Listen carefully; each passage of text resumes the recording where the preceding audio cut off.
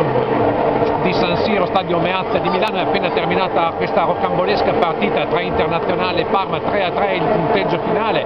Emanuele Dotto in sede di commento hai sottolineato come insomma, sia stata una partita ricca di emozioni ma anche con qualche errore, va da sé che insomma, con un finale del genere non poteva essere diversamente. Guarda, se devo essere sincero il pareggio sta stretto al Parma, secondo me ha giocato meglio, ha dimostrato di avere maggiore compattezza di squadra, è stato compatto, ha perso diciamo, una grande occasione perché eh, secondo me dal punto di vista tecnico, proprio di impostazione di gioco, il Parma è stato superiore all'Inter. Certo è stato favorito dal clamoroso errore di Andanovic che aveva consentito al Parma di ritornare in vantaggio, ma complessivamente come sviluppo di gioco, come manovra, a me il Parma è piaciuto più dell'Inter.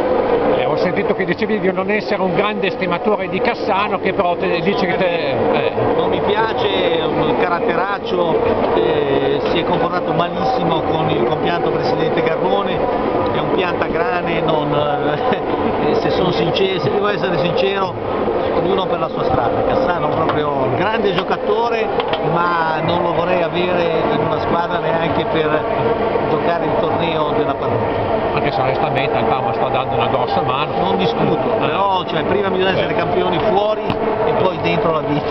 Eh, guarda che dicono che potrebbe tornare a Genova. Mi auguro di no, spero di no, ma non credo perché quello che combinò con Garrone non, non, non ci sono parole per descriverlo. Senti Emanuele, e per il resto del Parma di stasera cosa ti può essere piaciuto? Guarda, mi è piaciuta la tranquillità di Mirante, che non è poi troppo colpevole per i gol presi, la compattezza del centrocampo e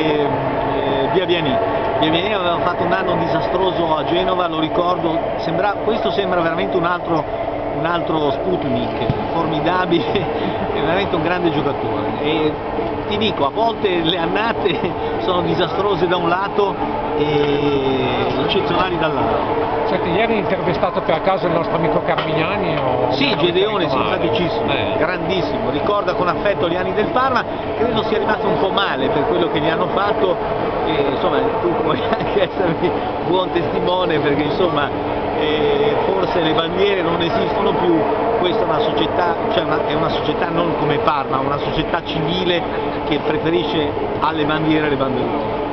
Grazie Emanuele, a presto, ciao. Ciao.